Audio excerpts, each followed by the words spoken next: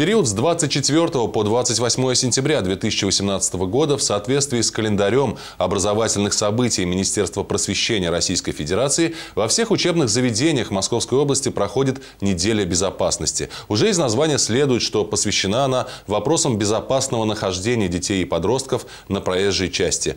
В Видном на одном из нерегулируемых пешеходных переходов водители заметили зебру, которая переходила дорогу по зебре. Делала она это в сопровождении сотрудников ГИБДД, а также юных инспекторов дорожного движения из Видновского художественно-технического лицея. Мы сегодня провели акцию «Зебра».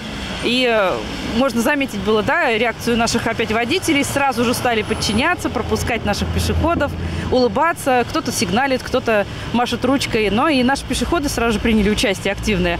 Захотели «Зебру» перейти дорогу. Подобные акции проходят в связке с традиционными способами пропаганды правил дорожного движения, лекциями, круглыми столами, подвижными играми. И все эти мероприятия, как показывают беседы с юными пешеходами, дают свои результаты. А ты знаешь, где переходить надо улицу? Да. Как?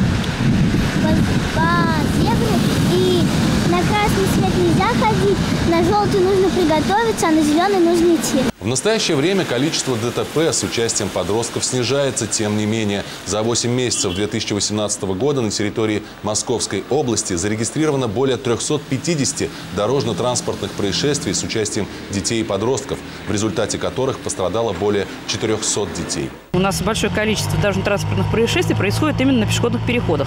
Поэтому мы и выбрали сегодня вот э, такой нерегулируемый пешеходный переход для того, чтобы еще раз напомнить нашим и водителям, и пешеходам, как нужно правильно переходить проезжую часть. Сотрудники ГИБДД призывают водителей транспортных средств быть готовыми к внезапному выходу детей на дорогу и обязательно сбрасывать скорость перед пешеходным переходом.